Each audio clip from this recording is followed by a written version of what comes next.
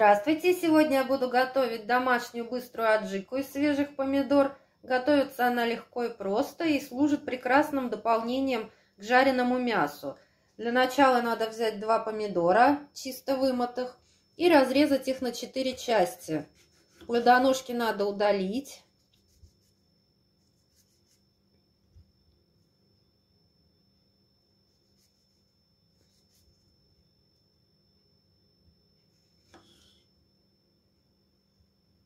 И вот из этих четвертинок достать семена и сок.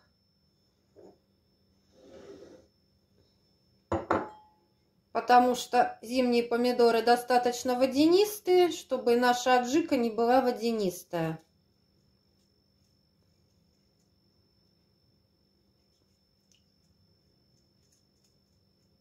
То есть оставляем только вот эту плотную часть. А сок можно использовать для варки супа, например, или для тушения мяса.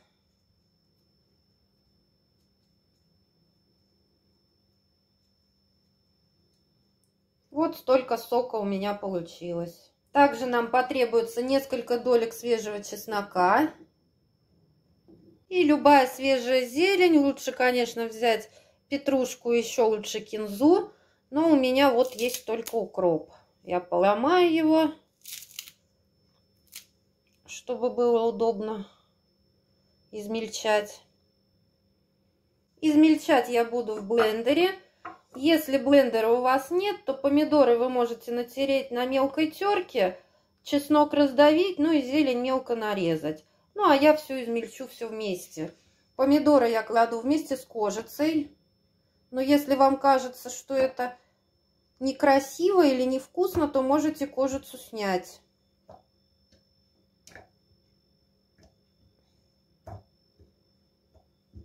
Сюда же чеснок и зелень. Добавлю соли. Вот такую смесь разных острых трав. Тут два вида аджики, красная и зеленая. Еще красный жгучий перец, чтобы было все остро. И теперь можно все это измельчить. Вот и все. Буквально за 5 минут вкусная аджика готова. Ужасно вкусная и очень ароматная.